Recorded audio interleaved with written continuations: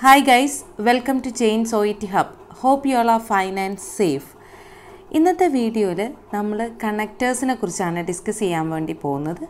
O E T writing sub ടെസ്റ്റിൽ ഏതൊക്കെ connectors use ചെയ്യാം ഏതൊക്കെ കണക്റ്റേഴ്സ് യൂസ് ചെയ്യാൻ പാടില്ല എന്നുള്ളത് കൃത്യമായിട്ട് ഒ ഇ ടി നമ്മളോട് പറഞ്ഞു തന്നിട്ടുണ്ട്. അപ്പോൾ ആ കണക്റ്റേഴ്സൊക്കെ എങ്ങനെയാണ് യൂസ് ചെയ്യേണ്ടതെന്നും അവ ഉപയോഗിക്കുമ്പോൾ ഉണ്ടാകുന്ന അതിന്റെ പങ്ക്ച്വേഷൻ റൂൾസും കാര്യങ്ങളും ഒക്കെയാണ് നമ്മൾ ഇന്നത്തെ വീഡിയോയിൽ ഡിസ്കസ് ചെയ്യാൻ പോകുന്നത് അറ്റ് ദ സെയിം ടൈം ഏതൊക്കെ കണക്റ്റേഴ്സ് നമുക്ക് ഉപയോഗിക്കാൻ പാടില്ല എന്നും നിങ്ങൾ അറിഞ്ഞിരിക്കണം. അത് അവോയ്ഡ് ചെയ്യുകയും വേണം ലെറ്ററിനകത്തുനിന്ന്.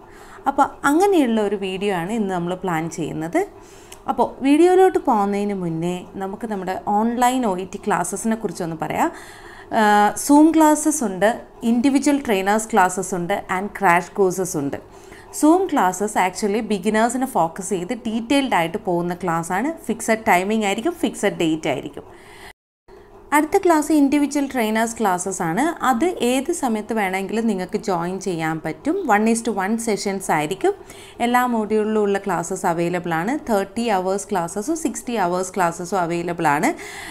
പിന്നെ ഇതിനകത്ത് നിങ്ങൾ ലൈക്ക് റിപ്പീറ്റർ ആണെങ്കിൽ ആ ടൈപ്പിലുള്ള ക്ലാസ്സസും ഇൻഡിവിജ്വൽ ട്രെയിനേഴ്സിന്റെ ക്ലാസ്സിൽ ഇൻക്ലൂഡ് ചെയ്യിപ്പിച്ചിട്ടുണ്ട്. പിന്നെ എക്സാം ഓറിയന്റഡ് ക്ലാസ് അത് ഫിഫ്റ്റീൻ അവേഴ്സ് ക്ലാസ്സാണ് അത് ക്രാഷ് കോഴ്സാണ് അത് നിങ്ങൾ എക്സാം ഡേറ്റ് ഒക്കെ എടുത്ത് ഒരു ക്വിക്ക് പ്രിപ്പറേഷൻ ആവശ്യമായിട്ട് നിങ്ങൾക്കുണ്ടെങ്കിൽ അതിന് പറ്റിയൊരു ക്ലാസ്സാണ് ക്രാഷ് കോഴ്സ് എന്ന് പറയുന്നത്. ഈ ടൈപ്പ് ഈ ക്ലാസ്സസിൽ ഏതെങ്കിലും ഒരു ക്ലാസ്സിൽ നിങ്ങൾക്ക് ജോയിൻ ചെയ്യണമെന്നുണ്ടെങ്കിൽ ആ സ്ലൈഡിൽ കാണുന്ന നമ്പറിലൊന്ന് കോൺടാക്റ്റ് ചെയ്താൽ മതി. ഇനി നമ്മൾ നോക്കാൻ പോകുന്ന ഏതൊക്കെ കണക്റ്റേഴ്സാണ് നമുക്ക് ഒ ഇ ടി ലെറ്ററിൽ ഉപയോഗിക്കാൻ പറ്റുന്നത് എന്നുള്ളതാണ്. അതിന് എക്സാമ്പിൾസ് ആണ് ആൻഡ് ഉപയോഗിക്കാം but or also in addition apart from this therefore as a result consequently however although ഇത്രയും കണക്റ്റേഴ്സ് നമുക്ക് ഉപയോഗിക്കാൻ പറ്റുമെങ്കിലും അത് ഏത് കോണ്ടെക്സ്റ്റിലാണ് ഉപയോഗിക്കാം ഏത് സിറ്റുവേഷനിലാണ് ഉപയോഗിക്കാൻ പറ്റുക എന്നുള്ളതാണ് നിങ്ങൾ പഠിക്കേണ്ടത്. അപ്പോൾ ആ സിറ്റുവേഷൻ അനുസരിച്ച് നമുക്ക് ഈ പറയുന്ന കണക്റ്റേഴ്സിനെ ഒന്ന് ഡിവൈഡ് ചെയ്ത് പോവാം. അപ്പം നിങ്ങൾക്ക് ഇതിനകത്ത് തെറ്റ് വരുത്താതെ ഉപയോഗിക്കാൻ വേണ്ടി പറ്റും. ഓക്കെ നമുക്ക് നോക്കാതെ എങ്ങനെയാണ് നമ്മൾ ഉപയോഗിക്കേണ്ടതെന്നുള്ളത് നമുക്കറിയാം കണക്റ്റേഴ്സ് എന്ന് പറഞ്ഞാൽ വേർഡ്സിനെ കണക്ട് രണ്ട് വേർഡ്സുകൾ തമ്മിൽ കണക്ട് ചെയ്യുന്നതായിരിക്കാം. അല്ലെങ്കിൽ രണ്ട് ഫ്രേസസ് തമ്മിൽ കണക്ട് ചെയ്യുന്നതായിരിക്കാം. അല്ലെങ്കിൽ രണ്ട് ക്ലോസസ് തമ്മിൽ അത് ഡിപ്പെൻഡന്റ് ക്ലോസ് ആവട്ടെ ഇൻഡിപെൻഡന്റ് ക്ലോസസ് ആവട്ടെ അങ്ങനെയൊക്കെ കണക്റ്റ് ചെയ്യുന്ന ആൾക്കാരാണ് ഈ കണക്റ്റേഴ്സ് എന്ന് പറയുന്നത്. അത് പല വിധത്തിലാണ് നമ്മൾ ഉപയോഗിക്കുന്നത്.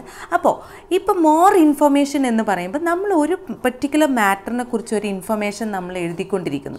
അതിന് പുറമെ അതേ മാറ്ററിനെ സംബന്ധിച്ച് നമുക്കൊരു അഡീഷണൽ ഇൻഫർമേഷൻ കൊടുക്കണം എന്നുണ്ടെങ്കിൽ ആ ടൈപ്പ് ആ സമയത്ത് നമുക്ക് ഉപയോഗിക്കാൻ പറ്റുന്ന ലിങ്കിങ് വേർഡ്സ് ആണ് and also in addition apart from this means അത് കൂടാതെ അല്ലെങ്കിൽ ഇതും കൂടി ഉണ്ട് അതിന്റെ കൂടെ എന്ന് പറയാൻ വേണ്ടി നമ്മൾ ഉപയോഗിക്കുന്ന കണക്റ്റേഴ്സാണ് ഈ പറയുന്ന നാലെണ്ണങ്ങളും. അപ്പോൾ ഇതെങ്ങനെ ഡിഫറെന്റ് രീതിയിൽ ഉപയോഗിക്കാം എന്നുള്ളതിനെ എക്സാമ്പിൾ വെച്ച് ഞാൻ ഇവിടെ പറയുന്നുണ്ട്. നമുക്ക് നോക്കാം ആൻഡ് എങ്ങനെയാണ് നമുക്ക് ഉപയോഗിക്കാൻ പറ്റുക എന്നുള്ളത്. അപ്പോൾ ആൻഡിന്റെ first example she prefers apple juice and lemonade എന്നുള്ളത് ഞാൻ ഒരു ഫ്രേസും ഒരു വേർഡിനെയാണ് അവിടെ കണക്ട് ചെയ്തത് ആപ്പിൾ ജ്യൂസും ലെമനേഡും അവൾക്കിഷ്ടമാണ് അതും ഇതും എന്നുള്ള രീതിയിൽ ഓക്കെ രണ്ടാമത്തെ സെന്റൻസ് നോക്കിക്കേ. She is a widow and lives alone എന്ന് പറഞ്ഞാൽ ഷീ ഈസ് എ വിഡോ എന്നുള്ളത് ഒരു ഇൻഡിപെൻഡന്റ് സ്റ്റേറ്റ്മെന്റ് അതിന് പറയുന്നതാണ് ഇൻഡിപെൻഡന്റ് ക്ലോസ് എന്ന് പറയും.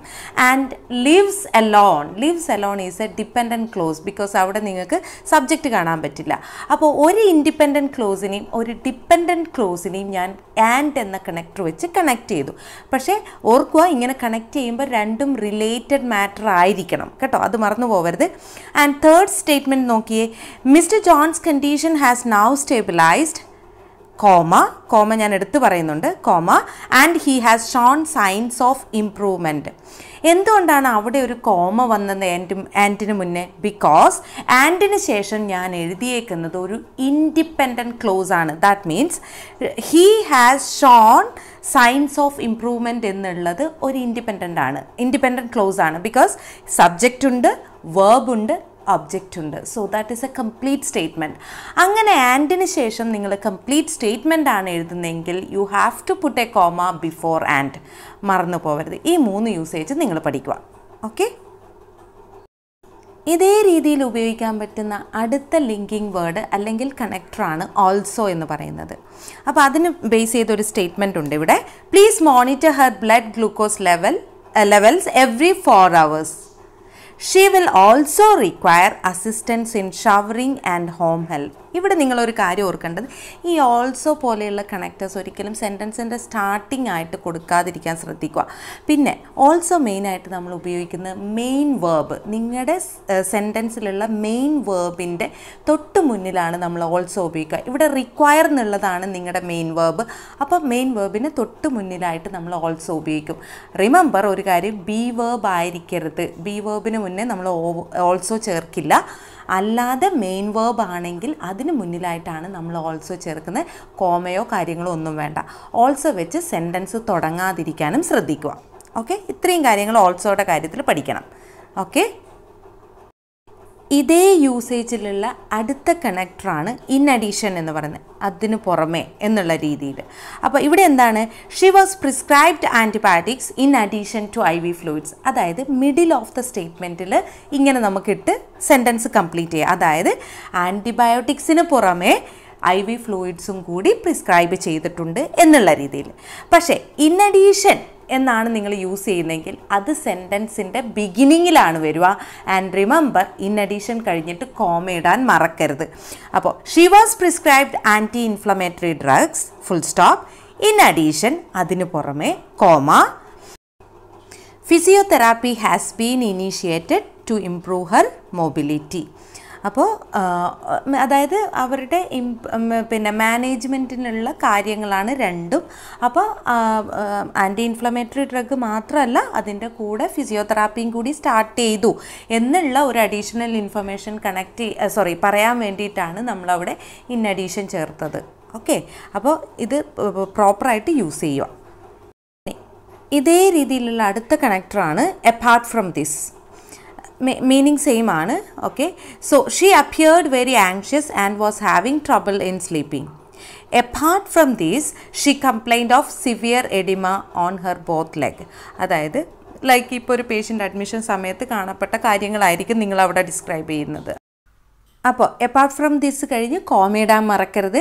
കോമ വേണം അടുത്ത എന്താണോ അടുത്ത അഡീഷണൽ ഇൻഫോ ആ അഡ്മിഷൻ സമയത്ത് നിങ്ങൾ കണ്ട അഡീഷണൽ അല്ലെങ്കിൽ നിങ്ങൾ കേട്ട കംപ്ലൈന്റ് എന്ന് പറയുമ്പോൾ പേഷ്യന്റ് പറയുന്നതാണ്. അപ്പോൾ പേഷ്യന്റ് എന്താണോ നിങ്ങളോട് പറഞ്ഞേക്കുന്നത് അത് നിങ്ങൾ മാറ്റർ അതായത് ഇപ്പോൾ ഈ ഈ ഒരു കേസിലാണെങ്കിൽ oedema on her both legs എന്നാണ് പറഞ്ഞേക്കുന്നത് അപ്പോൾ അത് അതിന്റെ കൂട്ടത്തിൽ നിങ്ങൾ എപ്പാർട്ട് ഫ്രം ദിസ് എന്നുള്ള കണക്ട് വെച്ച് കമ്പൈൻ ചെയ്ത് എഴുതി ഓക്കെ അപ്പോൾ ഇങ്ങനെയാണ് ഈ പറയുന്ന നാല് കണക്റ്റേഴ്സ് ഉപയോഗിക്കുന്നത്. ഇനി അടുത്ത സെറ്റ് ഓഫ് കണക്റ്റേഴ്സ് എന്താണ്?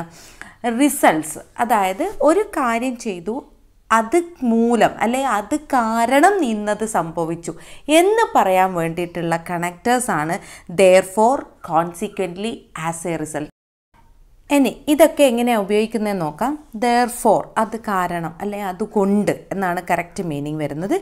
She is overweight there she she was advise to do regular exercise അവൾ ഓവർ വെയ്റ്റ് അല്ലെങ്കിൽ ഒബേസ് ആയതുകൊണ്ട് അവളോട് റെഗുലർ എക്സസൈസ് ചെയ്യാൻ വേണ്ടി പറഞ്ഞു. ഇനി ഇങ്ങനെയുള്ള കണക്ടർ ഉപയോഗിക്കുമ്പോൾ നിങ്ങൾ അവിടെ ശ്രദ്ധിക്കേണ്ട കാര്യം പങ്ക്ച്വേഷനാണ് അതായത് കോമ റൂൾസ് എങ്ങനെയാണ്? ദർ ഫോർ എന്നുള്ളത് ഒരു കോംപ്ലക്സ് കണക്ടറാണ് അത് മിഡിൽ ഓഫ് ദ സെന്റൻസ് വരുമ്പോൾ ഡെയർ ഫോറിന് മുന്നേ സെമി കോളൻ ഇടണം ഡെയർ ഫോറിന് ശേഷം കോമ ഇടണം. മറന്നു പോകരുത്. പിന്നെ ഈ ഡെയർ ഫോർ ഒക്കെ വെച്ച് സെന്റൻസ് സ്റ്റാർട്ട് ചെയ്യുന്നത് പരമാവധി ഒഴിവാക്കുക. അതത്ര നല്ല രീതിയല്ല ഫോമൽ ലെറ്ററിൽ വരുമ്പോഴത്തേക്ക് ഓക്കെ സോ മാക്സിമം മിഡിൽ തന്നെ വരുത്താൻ ശ്രമിക്കുക. മിഡിലിൽ വരുമ്പോൾ ഈ പറയുന്ന കോമ റൂളും കൂടി നിങ്ങൾ എഴുതി പോകണം. തെറ്റാതെ എഴുതണം. കേട്ടോ? ഇനി അതേ മീനിങ് വരുന്ന അടുത്ത കണക്ടറാണ് കോൺസിക്വന്റ്ലി പക്ഷേ കോൺസിക്വന്റ്ലി നമ്മൾ സാധാരണ ബിഗിനിങ് ഓഫ് ദ സെന്റൻസിലാണ് ഉപയോഗിക്കാറ്. അതെങ്ങനെയാണ് യൂസ് ചെയ്യുന്നത് നോക്കാം. The depth of periodontal pocket was four millimetre full stop okay consequently C capital എഴുതി അതായത് ഫുൾ സ്റ്റോപ്പ് കഴിഞ്ഞിട്ടുള്ള എല്ലാം സ്റ്റാർട്ട് ചെയ്യുന്നത് ക്യാപിറ്റൽ ലെറ്ററിലായിരിക്കണം കോൺസിക്വന്റ്ലി കഴിഞ്ഞ് കോമയിട്ടു he has undergone extensive treatment for the carious lesions അപ്പോൾ കോൺസിക്വന്റ്ലി കഴിഞ്ഞു കോമയിട്ടു ബാക്കി നിങ്ങൾ എന്താണോ എന്താ അതിന്റെ റിസൾട്ടായിട്ട് അതായത് നേരത്തെ പറഞ്ഞ കംപ്ലൈന്റിന്റെ റിസൾട്ട് മൂലം എന്താണോ ഇപ്പുറത്ത് അഡ്വൈസ് ചെയ്തേക്കുന്നത് അത് നമ്മൾ അതിന് ശേഷം എഴുതി. ഓക്കെ ഇനി അടുത്ത connector as a result same meaning തന്നെയാണ്. She is worried that she does not have adequate breast milk for the baby as a result she has decided to give formula feed as a റിസൾട്ടും കോൺസിക്വന്റ്ലിയുടെ same റൂളാണ് like beginning of the സെന്റൻസിൽ തന്നെയാണ് നമ്മൾ as a result എഴുതുന്നത്. പക്ഷേ as a result കഴിഞ്ഞ് comma ഇടാൻ മറന്നേക്കരുത്. ഈ പങ്ക്ച്വേഷൻ റൂളാണ് അവിടെ ഇമ്പോർട്ടന്റ് ആയിട്ട് വരുന്നത്. സോ അത് മറക്കാതെ ഇടുക. ഓക്കെ ഇനി അടുത്ത ടൈപ്പ് കണക്റ്റേഴ്സ് എന്ന് പറയുന്നത് കോൺട്രാസ്റ്റ് കണക്റ്റേഴ്സ് അല്ലെങ്കിൽ കോൺട്രഡിക്റ്ററി സ്റ്റേറ്റ്മെന്റ്സിന് തമ്മിൽ കണക്റ്റ് ചെയ്യുന്ന ആൾക്കാരാണ് കോൺട്രാസ്റ്റ് കണക്റ്റേഴ്സ് എന്ന് പറയുന്നത്. അതായത് ഒരു സെന്റൻസ് എന്റെ എക്സ്ട്രാ എക്സാക്റ്റ് ഓപ്പോസിറ്റ് ആയിരിക്കണം അടുത്ത സെന്റൻസ് പറയുന്നത്. അത് തൽക്കാലം നമുക്കിങ്ങനെ മനസ്സിലാവും. ഒരു സെന്റൻസ് പോസിറ്റീവോ ഒരു സെന്റൻസ് നെഗറ്റീവോ ആയിരിക്കും എന്നുള്ളത്. അപ്പോൾ രണ്ടും റിലേറ്റഡ് പോയിന്റ്സ് ആണ്. ഇതിങ്ങനെയാണെങ്കിലും അതിങ്ങനെയല്ല. എന്ന് പറയ പറയാൻ ഉപയോഗിക്കുന്ന കണക്റ്റേഴ്സ് ആണ് കോൺട്രാസ്റ്റ് കണക്റ്റേഴ്സ് എന്ന് പറയുന്നത്. അതിൽ നമുക്ക് ഉപയോഗിക്കുന്ന സാധാരണ ഒ ടിയിൽ നമ്മൾ ഉപയോഗിക്കുന്ന മൂന്ന് ടൈപ്പ് കണക്ടേഴ്സ് ആണ്.